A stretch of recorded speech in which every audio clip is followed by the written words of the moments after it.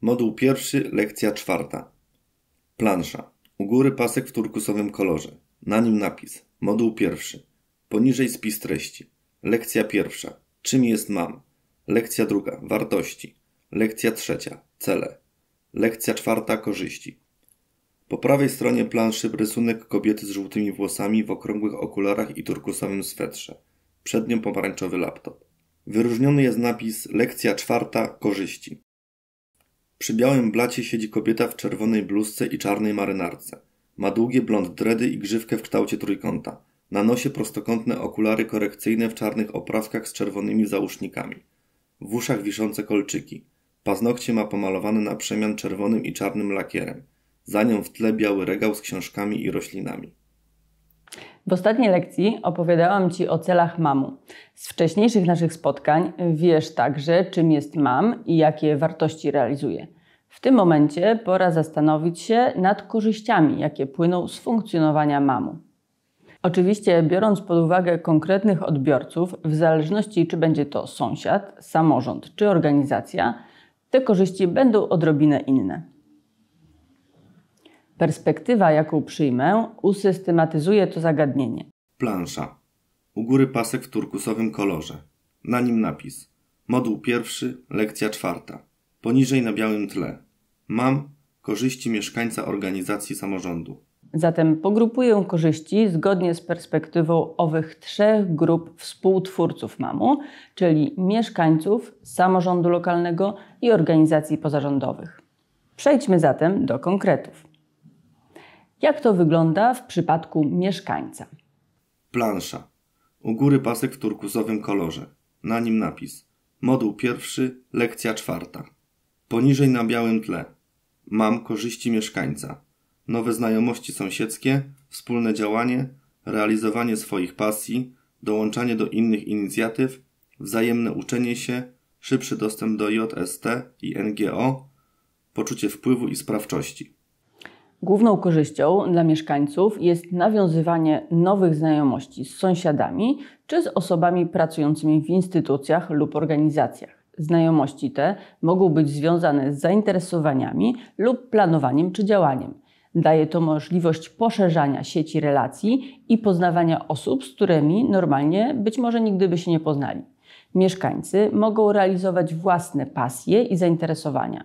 Mają także możliwość realizowania niewykorzystanych potencjałów, na które nie było wcześniej przestrzeni czy możliwości. Kolejną korzyścią może być nie tylko realizowanie własnych pomysłów, ale także dołączanie do inicjatyw podejmowanych przez MAM lub innych uczestników MAM. Niejako przy okazji następuje wymiana i wzajemne uczenie się. Doświadczanie wspólnego działania może przyczyniać się do rozwoju osobistego poszczególnych osób, a przez to i wspólnoty. Pamiętaj, że w mamie działają także samorząd i organizacje, zatem można mieć szybszy i bezpośredni dostęp do informacji na temat planowanych działań przez te podmioty, a także możliwość włączenia się w ich działania, co daje łatwiejszy udział w podejmowaniu decyzji, które dotyczą najbliższego otoczenia to z kolei w dłuższej perspektywie przekłada się na wzrost poczucia wpływu i sprawczości. Jak widzisz, jest tego trochę. A to tylko pierwsza część korzyści. Przejdę teraz do korzyści dla samorządu lokalnego. Plansza.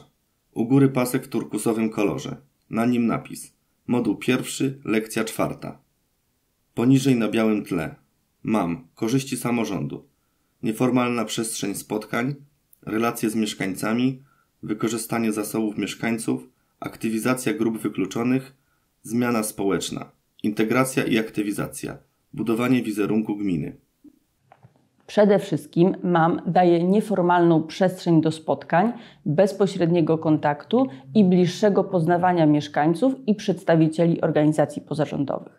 To z kolei ułatwia poznawanie innej perspektywy, rozmowy na temat lokalnych problemów, czasem wypracowania i konsultowania lepszych rozwiązań. Wszystko to w bardziej przyjaznym, nieurzędowym otoczeniu. W ten sposób, spotykając się, można planować dalsze kroki i na przykład przez udział we wspólnych działaniach społecznych czy akcjach organizowanych w MAMie budują się bezpośrednie relacje z mieszkańcami i przedstawicielami NGO. Samorząd ma także łatwiejszy dostęp do zasobów mieszkańców, które oni sami mogą wykorzystywać do rozwiązywania problemów, które dotyczą lokalnej społeczności, bez angażowania kogoś z zewnątrz, np. wzajemna pomoc między sąsiadami. W ten sposób mieszkańcy są wspierani w sprawowaniu coraz większej kontroli nad własnym życiem i uczestniczeniu w podejmowaniu decyzji, które ich dotyczą. W dłuższej perspektywie możliwe jest wywołanie pozytywnej zmiany społecznej, aktywizowania się grup zagrożonych wykluczeniem. Jeśli stwarza się mieszkańcom przestrzeń do aktywnego działania i współdecydowania, takie zmiany są także zauważalne na zewnątrz, co dodatkowo przekłada się na budowanie wizerunku gminy jako miejsca przyjaznego i otwartego. Ostatnią grupą odbiorców jest NGO i teraz pokażę Ci korzyści dla organizacji pozarządowych. Plansza. U góry pasek w turkusowym kolorze. Na nim napis. Moduł pierwszy, lekcja czwarta. Poniżej na białym tle. Mam. Korzyści organizacji. Nieformalna przestrzeń spotkań, pozyskiwanie wolontariuszy, wzrost zasięgu oddziaływania, bezpośredni kontakt z odbiorcami, współpraca z innymi NGO, infrastruktury mam do działań, relacje z JST, korzystanie z zajęć.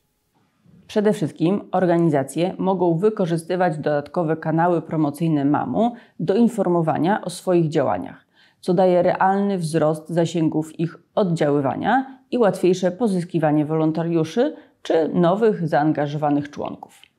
Takie ułatwienie bezpośredniego kontaktu z aktualnymi i przyszłymi odbiorcami działań organizacji jest świetnym źródłem informacji o aktualnych potrzebach i problemach mieszkańców. A skoro o problemach, wspomnę jeszcze, że wiele organizacji nie ma odpowiedniej czy przystosowanej infrastruktury do prowadzenia swojej działalności. Zatem MAM może pomóc i w tym. Prowadzenie własnych działań statutowych czyli MAM daje przestrzeń, wyposażenie, materiały, wsparcie organizacyjne. To duże ułatwienie, szczególnie gdy organizacja jest młoda stażem i nie ma swoich zasobów. Zarówno te młode, jak i długo działające organizacje mogą się w mamie poznawać, wzmacniać współpracę między sobą, a to często przekłada się na większe możliwości działania i realizacji celów organizacji, łatwiejsze pozyskiwanie środków na działania partnerskie. Pamiętajmy, że w mamie mogą być także przedstawiciele samorządu lokalnego. I w mniej formalnych warunkach organizacje mogą nawiązywać relacje, co owocuje łatwiejszą współpracą i partnerską komunikacją na linii NGO-JST. I na koniec jest jeszcze jedna kwestia realizowania wydarzeń edukacyjnych. Organizacje mogą podnosić swoje kompetencje, co daje korzyść w postaci profesjonalizacji działań dzięki zwiększeniu swoich kompetencji. Teraz zaproszę Cię do trudniejszego zadania. Plansza. U góry pasek w turkusowym kolorze. Na nim napis. Moduł pierwszy, lekcja czwarta. Poniżej na białym tle napis zadanie. Wypisz korzyści, które mógłbyś uzyskać dla swojej społeczności. Zastanów się, do jakiej grupy Ty należysz i wypisz, jakie korzyści mógłbyś, mogłabyś uzyskać dla swojej społeczności. Następnie wyobraź sobie pozostałe grupy i spróbuj wcielić się w ich potrzeby, rozumiejąc już z poprzednich lekcji ich cele. Spójrz na mam przez pryzmat ich korzyści.